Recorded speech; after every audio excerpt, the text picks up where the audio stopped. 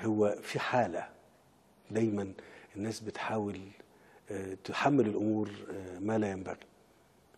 يعني أنا بتكلم الكلام صحيح يعني. العلاقات بين مصر وبين السعودية وبين مصر وبين أشقائها في الخليج علاقات قوية ومستقرة آه، من سنين طويلة. وما افتكرش أي محاولة للإساءة أو للإسقاط على ده ممكن ينفع بالعكس.